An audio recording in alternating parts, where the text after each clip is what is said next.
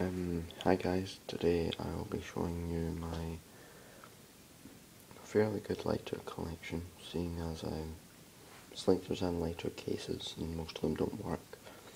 But I only started collecting lighters about two or three days ago. Um, I got this normal disposable one, but I modified it. Um, this one here is actually pretty nice. It's I've actually never seen it in any other videos. It's uh, one where you, I think it's made out of brass, but you basically hold on to the ring at the bottom and wait, I'll try and see if I can do it one-handed. Um, no, I can't. I'm sorry about that. But you push its body upwards, and that shows the chimney and the um, wick in there and the front wheel and stuff, yeah. Pretty neat little interesting lighter there um, on my first lighter I got when I was collecting. Um, pushed in here to get a little flame. One's on butane. Yeah, yeah, that one runs on like lighter fluid, like Zippo. Um, my Marlboro one, Mal, Marlboro, Marlboro, yeah. Um, it works as well. Mm, it's the only Marlboro one I've got. Um, I don't know what this one is, but my granddad loved it.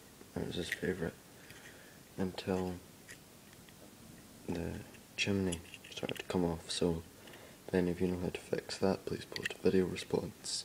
Please post a video response to tell me, so I can fix it and return it to him um, a nice little smooth, fairly well polished chrome case here. As you can see there's no lighter inside. Um, this next one here surprised me actually. It's looks like one of those little disposable ones, but it's actually refillable with butane. So yeah, nice little thing there. Uh, camel case for a lighter. Don't know what type of lighter will fit this, but I'll find one. And here come my two Zippos. I've got a normal solid brass, it'll say uh, yeah, it says on the lid of it, you probably can't see it here actually. Oh yeah, it says on the lid solid brass.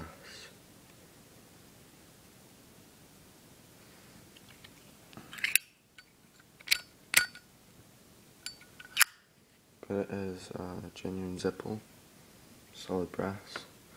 And I've also got a Zippo Slim here. Also real Zippo. And yes, I've checked the dates inside and everything. So they are real.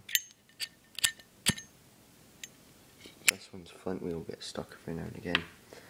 But all in all, I think this is a nice little collection so far for only be collecting for two or so days.